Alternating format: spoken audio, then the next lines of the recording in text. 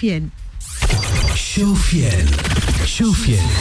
مع الانتخابات حزب عنقني هو أكبر حزب في البلاد. قال لك يا سيدي بن سيدي سي سليم الرياحي يستعد للإعلان عن ترشح الانتخابات الرئاسية. علاش لا؟ قال فكرني. وقالوا زاد باش يترشح بصفته مستقل زاد وعلاشين لاين كيف كيف؟ قال فكروني وقالوا زاد ممكن يأسس حزب جديد. وعلاش لا؟ ثلاث مرات.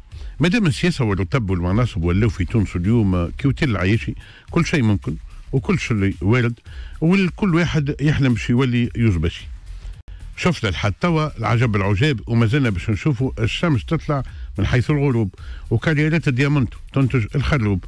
وبعد هذا ودونه سي سليم الرياحي ما كان البارح في الأيام أمين عام حزب نداء تونس. من اكبر الأحزاب في البلاد.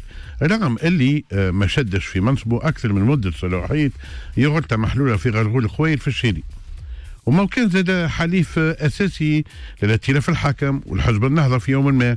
وما عمل توافقات مع الحكام من قبل التخفيف في عديد الأحكام. والمناصب في تونس اليوم على قارعة الطريق. والسياسة اوتوروت لمن هب ودب. وخاصة للفاشلين ولغتي من كل حدب وصوب. ما تنساوش اللي حماد جبالي شد رئيس حكومة في تونس ومصر مرزوقي شد رئيس جمهوريه وبما أنه موسم الترشحات السياسية بدأ في تونس يمكن نقولوا أنه هو هو معناها موسم الحب والدحنيس والحنان وموسم عنقني وارد جدا أن سليم اليحيى وبحر الجلاسي وعادل العلمي وغيرهم يعاودوا يدلوا بدلهم ويصرفوا متى يسر لعلهم يوصلوا المراتب العليا بالطرق الأيسر. وسمسرة بالاحتياجات والحاجيات والعواطف والمشاعر والحرمان والانتظارات. ومن بعد الوعود والتفسيفات. السياسة في تونس اليوم حالة حل فيليب بادجام كل شيء بدينار.